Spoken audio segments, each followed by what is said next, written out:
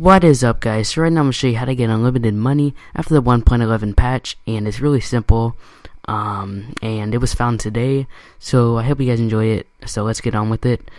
Um, so first you're going to go into Warstock Cache and Carry and buy the journey for 18k then you're going to put in the position like I'm showing you on screen and make sure it's in like the exact position about the same. And once you do that you're going to get out of it and it's going to bring you into your garage. Once you're in your garage, you're going to grab the car that you want to sell, and probably an Adder or Bugatti would be the best to sell. And you'll notice that it doesn't do the car animation, which is completely normal, so it's fine.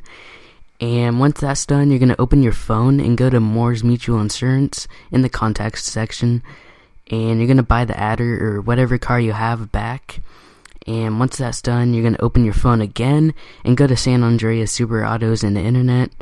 And you're going to buy the Karin Rebel for 3K for your garage. Um, if you need to buy another space or if you need a space, um, replace any car that you don't like or whatever. Um, just make sure it's in your garage. And once you do that, you're going to go to Los Santos Customs in the car that you chose, which I chose an Adder. And you're going to slide your two wheels inside the garage um, and make sure it's just your two wheels, and make sure you don't go inside of Los Santos Customs. Just make sure um, you're just inside like the garage part, whatever. And once you do that, you're gonna call your mechanic and have Rebel the, the Rebel delivered.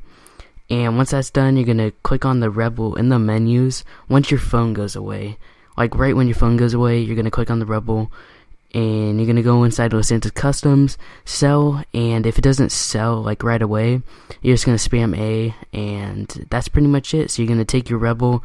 After that, once you sell it, and you're gonna bring it back into your garage, and then you just keep on repeating this. And that's the unlimited money glitch for after 1.11 patch. So I hope you guys enjoyed the video. Make sure to leave a like, subscribe, favorite for more. And I'll catch you guys later. Peace.